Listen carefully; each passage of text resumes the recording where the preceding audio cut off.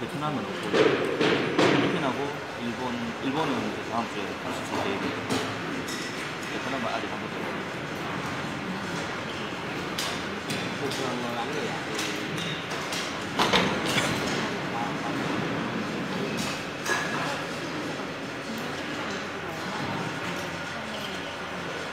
지금 1제곱미터에